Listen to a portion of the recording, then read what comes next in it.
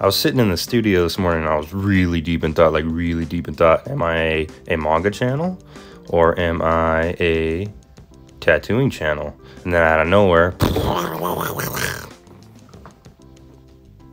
it dawned on me. What happens if I put both of them together? And so I did. So I grabbed some inspiration, grabbed the keys, and ran to the truck. And then jammed out to music that I can't play on YouTube. Come on, I got ideas! I'm gonna need a piece of your leg today. Fuck! So we started jamming out again, and I forgot something at home, so we had to stop. Now it's time to get into that mindset, time to do some training. Who's the main character of One Piece? Luffy, Who's the secondary character of Chainsaw Man? Uh, power. Gotta start working on that thumbnail, boy. Thumbnail's halfway done now, I just got a tattoo. I promise, I'll get back to you one day, my friend. Almost, almost, I promise.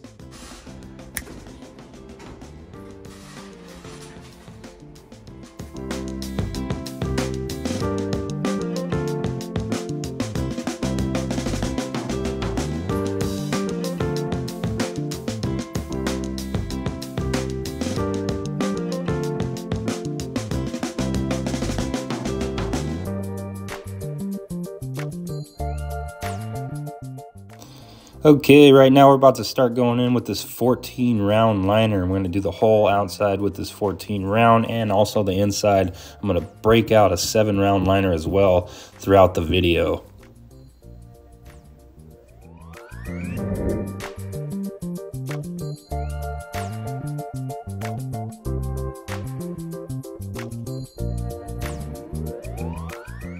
Also, shout out to Jock for letting me tattoo a Luffy on him. That's pretty dope, uh, you know, with my name and all. Luffmeat.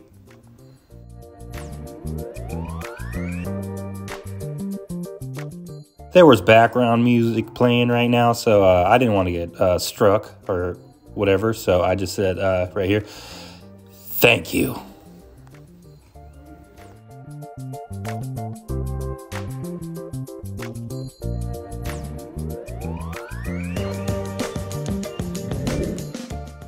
And this is what I was talking about. I came in with a seven liner right now. I'm just gonna whip in the little parts of the teeth and little fine lines and the like little scratches on his skin and stuff, and in his hat. Um, I asked him when it when I was doing this tattoo, I was like, oh, "How how do you want it?" And he was like, "Kind of minimalistic, you know, because I got darker skin. He wants to make sure it heals right and looks good when it's all done."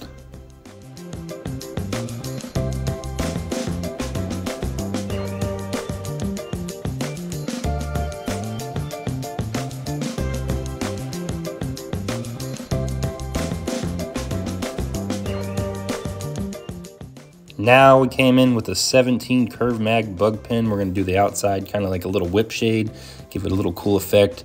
I'm still gonna use a 17 round for the hair as well to just pack that all in.